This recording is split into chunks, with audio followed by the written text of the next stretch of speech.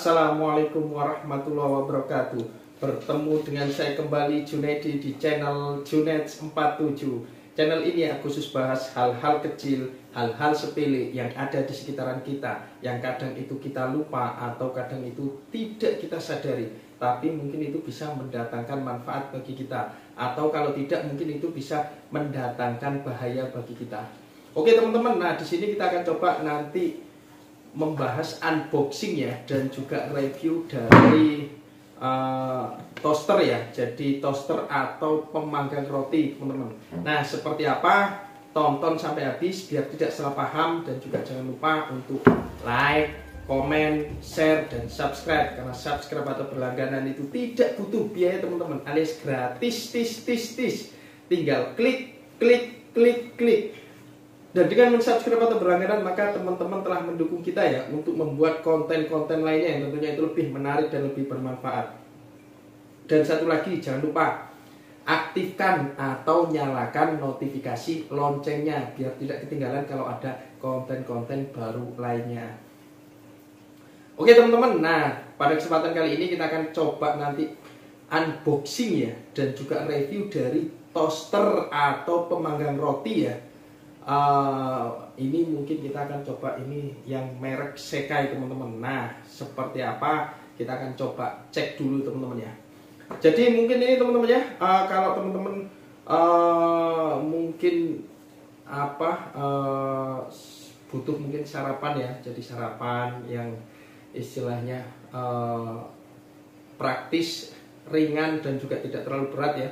Mungkin uh, bisa pakai roti teman-teman. Tapi kalau roti saja ya mungkin kita akan juga nantinya akan bosan ya. Mungkin bisa jadi uh, kita pakai kita panggang dulu teman-teman. Kalau kita panggang pakai apa wajan atau goreng atau dipanggang itu mungkin uh, agak susah ininya teman-teman ya. Apa uh, tapi kalau mungkin lebih praktis kita pakai pemanggang yang memang sudah uh, jadi ya sudah terbentuk. Jadi sehingga mungkin kita cuma tinggal uh, pencet tombolnya kemudian tunggu sudah jadi. Nah mungkin itu teman-teman ya jadi uh, pemanggang roti ini biasanya fungsinya kurang lebih seperti itu. Oke mungkin kita akan coba unboxing teman-teman ya. Tapi sebelum unboxing teman-teman kita akan coba dulu ya. Uh, cek uh, boxnya ya. Jadi ini boxnya teman-teman ya. Jadi kurang lebih boxnya seperti ini ya. Ini pemanggang roti uh, toaster TS tipenya TS 891 ya. Jadi TS 891 Sekai toaster kemudian uh, ini kalau kita lihat ini garansinya satu tahun teman-teman. Kita akan coba cek dulu ya secara dimensi teman-teman ya. Jadi dimensi boxnya ya. Jadi boxnya sendiri ya. Kalau kita cek ini teman-teman, ini kurang lebih lebarnya sekitar 26 teman-teman ya. Jadi ini lebarnya 26 cm ya 26 cm terus kemudian uh, tadi panjangnya ya lebarnya itu kurang lebih 10 setengah ya. 10 setengah cm tingginya kurang lebih di angka 26 setengah ya 26 setengah cm ya. Oke teman-teman mungkin kita akan coba lihat dulu secara boxnya ya seperti apa. Nah untuk boxnya sendiri ya tadi ukurannya juga sudah terus kemudian ini kalau kita lihat teman-teman ya, uh, dia keunggulannya ya, istilahnya ada apa saja fitur-fiturnya ya, atau ini ya, dia itu dilengkapi klip pengunci lebih aman ya. Jadi dia ada klip pengunci ya, sehingga apa uh, dia bisa lebih aman ya. Terus kemudian loyang anti lengket dan dilengkapi sekring pengaman. Jadi ini loyangnya itu anti lengket ya. Terus kemudian dilengkapi sekring pengaman ya. Terus kemudian pegangan tidak panas, aman digunakan. Jadi pegangannya tidak panas ya, teman-teman ya. Mungkin ini bisa kita cek ya. Terus kemudian tersedia tempat untuk menggulung kabel ya. Jadi ada tempat untuk menggulung kabelnya ya bila tidak dipakai ya di bagian bawah untuk kemudian penyimpanan. Terus kemudian di sini bisa disusun tegak untuk menghemat ruang penyimpanan. Jadi kalau uh, ini bisa ditaruh tegak ataupun bisa ditaruh secara tidur. Nah, ini ya, tipenya teman-teman ya, TS891 ya. Modelnya TS891.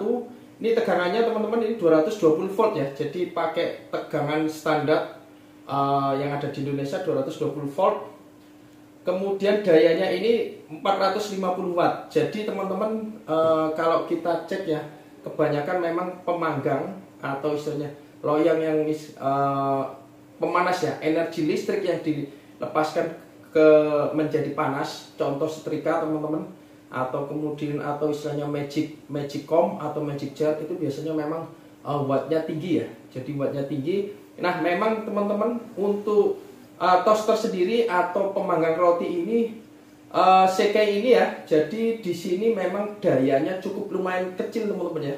450 watt ya bila dibandingkan dengan uh, sejenis ya. Kalau sejenis rata-rata teman-teman sudah di atas 600 watt ya. Bisa jadi 900 bahkan ada yang lebih. Oke itu teman-teman ya secara boxnya ya. Mungkin kita langsung coba unboxing ya. Unboxing. Nah mungkin ini teman-teman ya. Kita unboxing kita langsung buka saja ya.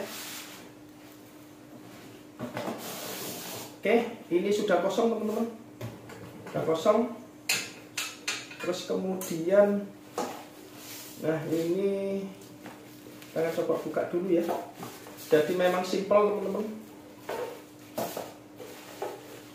simpel kita langsung buka teman-teman isinya apa saja ya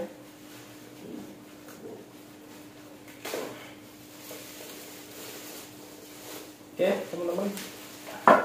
Nah ini uh, ini untuk apa? Ini kita taruh dulu ya gabusnya ya atau gabusnya kita suruh taruh dulu.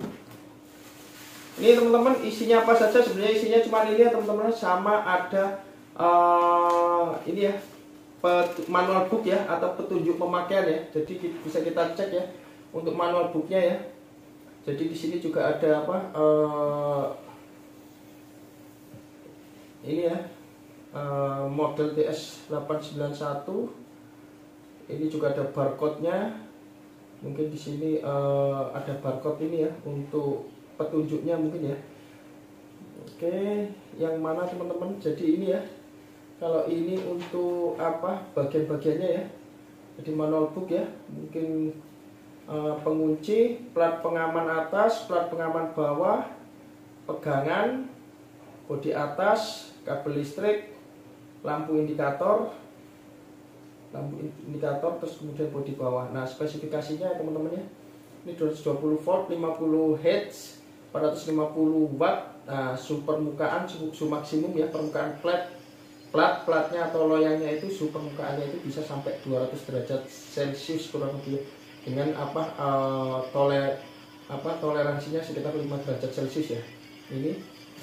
Terus kemudian uh, saya kira standar ya. Ini untuk pemakaiannya. Saya kira standar ini teman-teman.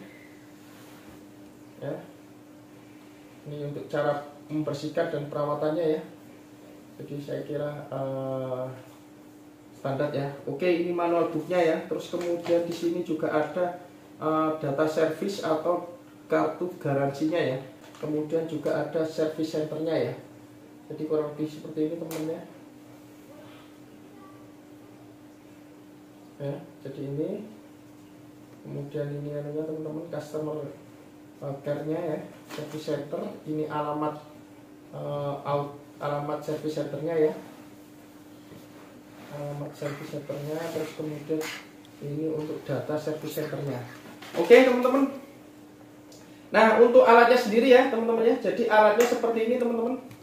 Uh, cukup simple ya. Jadi simple alatnya ya. Mungkin detailnya seperti ini ya.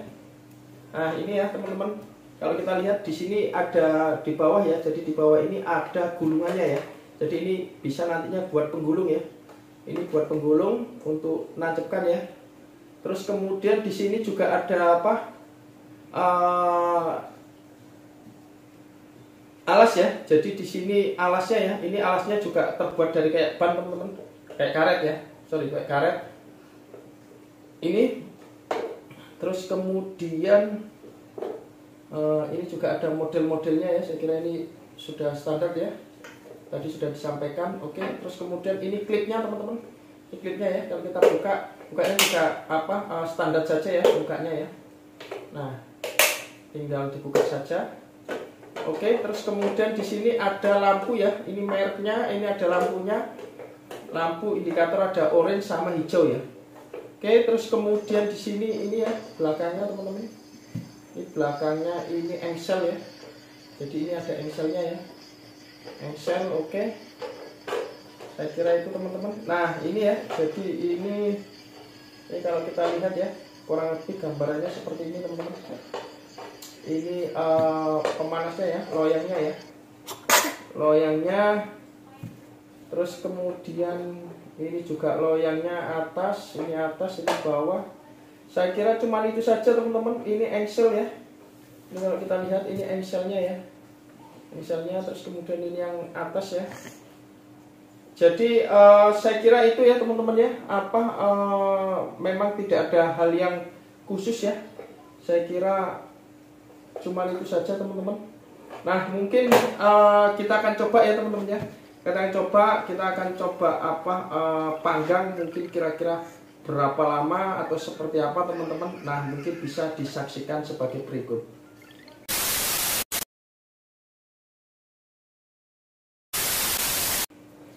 Oke teman-teman mungkin itu ya uh, apa sudah kita unboxing dan juga sudah kita uh, coba ya kita review uh, kita coba panggang rotinya seperti apa. Nah ternyata cukup lumayan enak teman-teman nah mungkin ini bisa jadi referensi ya bagi teman-teman ya uh, yang mencari toaster atau pemanggang roti yang simple uh, terus kemudian yang mungkin juga ekonomis dan juga yang jelas uh, dayanya juga cukup rendah mungkin bisa jadi referensi bagi teman-teman. Oke, mungkin itu saja teman-teman yang bisa kita share uh, pada kesempatan kali ini. Semoga bermanfaat. Terima kasih. Sampai jumpa di video-video selanjutnya. Salam Junet 47.